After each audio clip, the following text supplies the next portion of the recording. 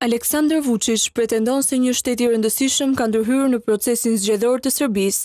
Ai u shpreh se autoritetet shtetërore po hartojnë një letër të imtësishme për këtë ndërhyrje, e cila sipas tij do të finalizohet deri në fundvit. Sipas Vuçiç, letra do të dërgohet kudo në mënyrë që të shihet se si arrihet të ndërhyhet në procese të cilat i përkasin një vendi të pavarur sovran. Ai shkon deri aty sa thotë se zgjedhjet e shtatëmbëdhjetë dhjetorit ishin zgjedhjet më të pastra dhe të drejta të mbajtura ndonjëherë në Serbi. Koalicioni opozitar Serbia kundër dhunës u ka kërkuar institucioneve europiane të mos i njohin zgjedhjet parlamentare që u mbajtën në Serbi, derisa të përfundojë verifikimi i plotë ndërkombëtar për parregullsi gjatë votimeve.